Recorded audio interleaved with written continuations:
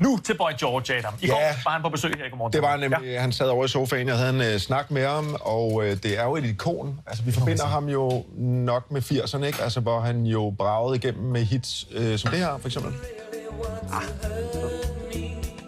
Kæmpe ikon. Det er lavet et par år før du blev født, Jonas. Og Hvornår er du fra, Jonas? Jeg er fra 85. Ja. Der var han allerede en kæmpe Ja, stjerne. han er der en stor kanon. Ja, og, øh, Forgangsmand på alle mulige måder. Nu ja. er han sprunget ud som kunstner. Mm. Og det er jo ret interessant, at sådan en mand som ham øh, ikke vil lade sig øh, blive... Ja, han bliver jo ikke hængende, kan man sige, i den her musik. Han med vil at hele tiden sig. udfordre sig selv og hele tiden være kreativ, og det, øh, det talte vi om i går. Ja, skal vi ikke lige se? Her er Boy George og Adam fra i går. Welcome to Denmark, Boy George. Thank you. Nice to see you. You too. Thank you for stopping by. Welcome. You've toured the world a number of times. Um, this time, you show your artwork to the world. Um, Yeah, this is my third art show so far. Um, I've been making art since I was at school, really. Um, but it sort of became, I started selling it maybe about two years ago. And uh, yeah, it's exciting. It's another way to kind of just say stuff about yourself, you know. And I think with rock and roll, because everything's so controlled nowadays, you know, it's such a system, it's probably one area where nobody interferes. Nobody tells you what you should do because this will be more commercial or so I kind of enjoy the freedom of art. what inspired you, or who inspired you to go down this road?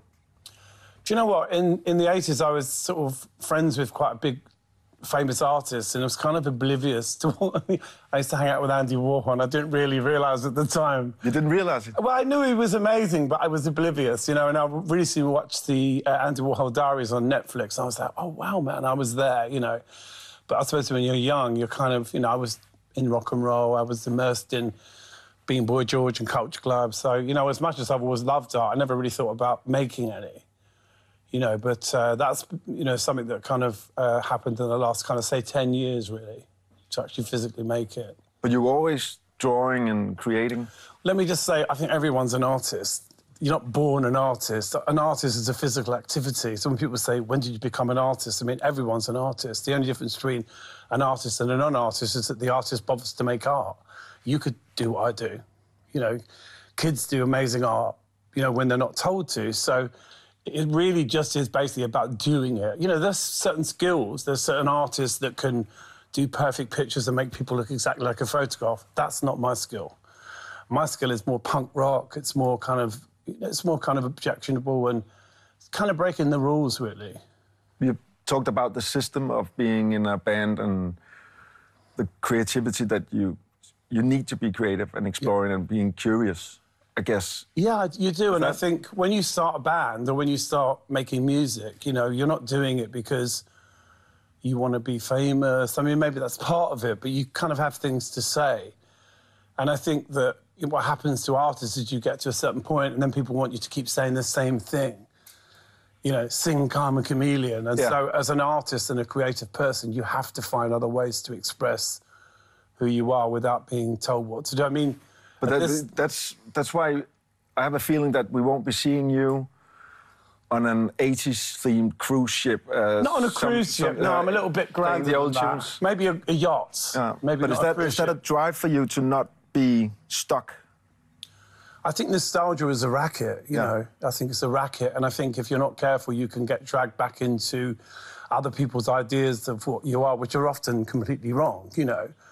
But listen, I'm not complaining. Um, I still tour. You know, I'm about to go on tour with Culture Club. I mean, I wouldn't say that we do 80s type gigs, but we're not kind of embarrassed about the 80s. We do our hits, we do new stuff.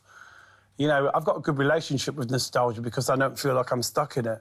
I DJ, so, you know, I make art. Um, You I have a lot of freedom, fashion. clothing and stuff. Yeah. So I have a lot of freedom creatively, but that doesn't mean I don't want more.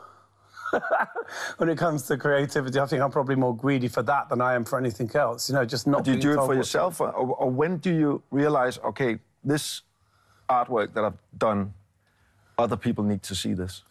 Well, you know, the first show that I did three years ago, I was very nervous because I was like, I'm an imposter, you know, because you know the art world is super snobby, you Yeah. know. But I feel like now, with kind of modern art, people are less. The rules have changed, you know. So you, you know, you get critics, but the fact is, you know, in rock and roll you get criticised. That doesn't stop you doing what you're doing, you know. And you know, once you sell a piece of art, it's kind of almost like legitimizes yourself as an artist, you know, and uh, that's really the proof, isn't it? Because a piece of art, somebody wants to live with your art in their house. That's that's the bottom line. Yeah. Let's see some examples. Um, and I've noticed that you use faces a lot.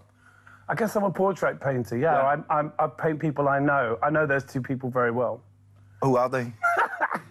They're probably like, a, you know, because obviously, as you can see, I'm not trying to kind of create a face that you would recognize instantly. I'm always trying to get essence of a person. So I quite like these kind of, you know, miserable faces, quite punk rock, attitude, you know, celebrating the whole new romantic thing and punk rock and exhibitionism and showing off. My, my paintings are very uh, attention seeking, a bit like myself. We also use your own face a lot. Uh, yeah, Self-portraits. Yeah. I call them selfish portraits. But you Selfish know, I'm, portraits, I'm an yeah. invention myself. You know, every time I put on makeup, I'm sort of changing who I am. You know, when I was 14 and I discovered makeup and discovered what I could do to myself, that was the beginning.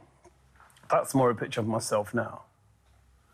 Why do you find faces um, a good uh, place to I think it's the start first, an expression It's the first thing you look at because when you look at a person's face, you know, you kind of you want to know if you can trust them. You want to know, you know, if they're on your level. You want to know if they're kind.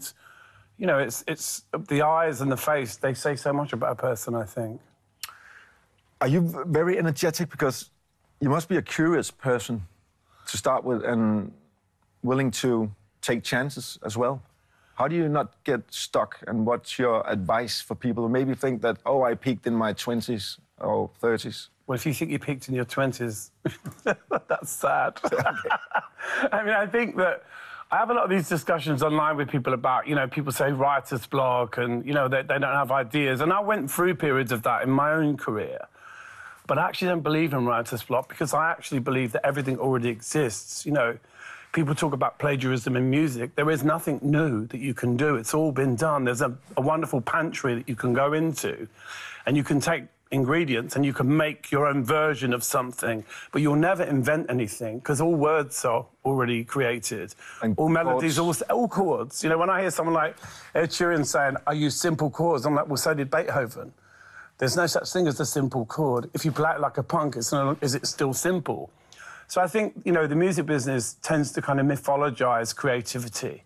But it's about doing it, getting It's about doing, and it, and it's also about being brave and, you know, putting up with criticism and not really caring about that. You know, it's not important what other people think. It only it only matters what, you know, the relationship you have with the people that like with the art. If somebody buys your work, they like it. yeah.